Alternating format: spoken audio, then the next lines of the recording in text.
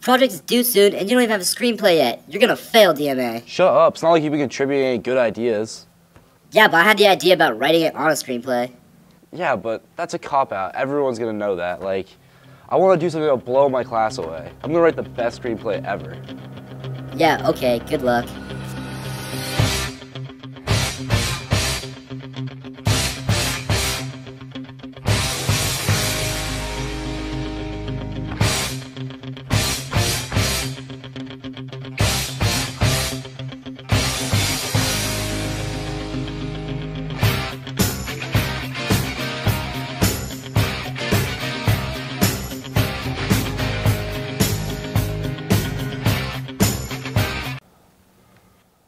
So, my idea it is then.